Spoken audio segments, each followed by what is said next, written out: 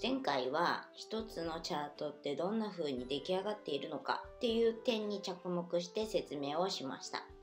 しかしチャートを見て上がるとか下がるとか考えるよりもまずは為替っていつから始まってどんな風に成長してきたのっていうのを説明したいと思います。昔も同じようなブログ書いてたんだけど今回はそれのバージョンアップというかもうちょっと詳しく書いたっていう感じになっていますのでできれば聞いてください。なんで歴史について語ろうかなって思ったかというと為替の歴史って調べれば調べるほど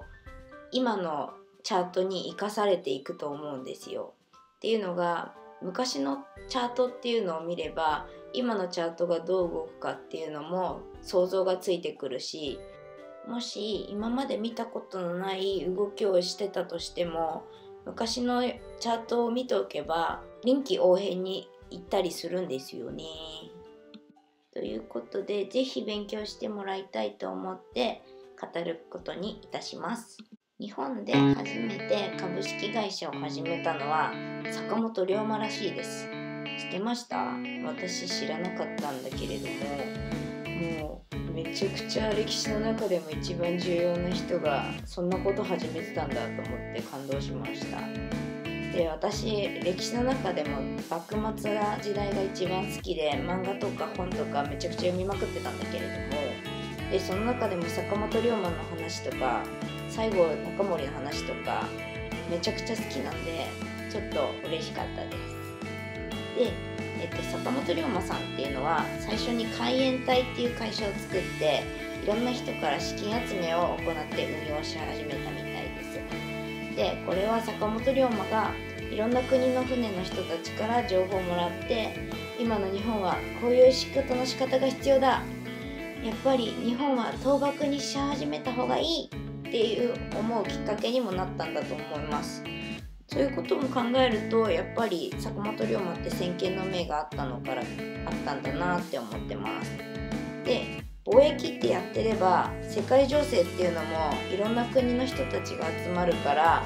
嫌でも知ることができるしあの地元の人たちもいっぱい集まるので巷の情報も簡単に収集できるようになります。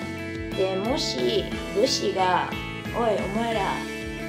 いろんな情報出せって言っても絶対聞いてくれないんだけど海援隊とかいう商人の扱いだと多分あ自分たちと同じ仲間だなって思って気軽に情報収集とかもできたんじゃないかなって思ってます。っていうところからも考えると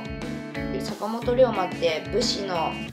面もあって商人の面もあってで金儲けをするとしても世界情勢をつかむとしてもすごいいい立場にいたんだなって思います。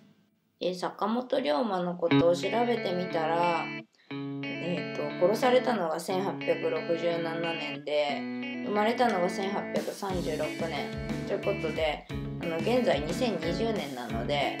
株式会社の歴史って160年くらいしかないんだなっていうことが分かりました。日本ではね。で今ちょっと言ってて思ったんだけど本龍馬って30で死んでんだよね。もう私より年下なんだよね。そんな感じで株式会社は現在160年程度の歴史しかなくって株式会社として始めて160年続いてる会社って今ないんじゃないかなって私の中では思ってます。まああったからごめんなさい。次に為替取引の歴史について説明しようと思います。で為替取引ってもう国と国で貨幣が違ったらずっと起こり起こっている取引だと思うんですけれども日本って実は日がすごい短くって日本は長い間ほとんど中国のお金を使っていたらしいです。でなんで日本って中国のお金使ってんだろうって思ったんですけど今かん現代を考えてみるとドルって香港ドルとかオーストラリアドルとかいろんななんとかドルって国の名前がついたドルがいっぱいあるんですよ。これってアメリカっていう国が強くて安定してるお金を持っているからその恩恵を受けるために同じ名前を付けてるんじゃないかなって思ってます。で多分それと同じような感覚で中国のお金って一番安定していたその時代と思うんですなのでそれで日本はわざわざ通貨を発行しないで中国のお金を使って日本の市場も回していたんじゃないかなっていうふうに私の中で思ってます。でこの話を、えっと、なんで知ったかというと最近ハマっている本が常年司さんの「経済で読み解く日本史文庫版 5, 5巻セット」ということで、えっと、今読み始めててでそれをぜひ皆さんにも参考に読んでもらいたいなと思ってとりあえず CM してみました。でじゃあいつ日本の国が自分でお金を発行始めたかっていうと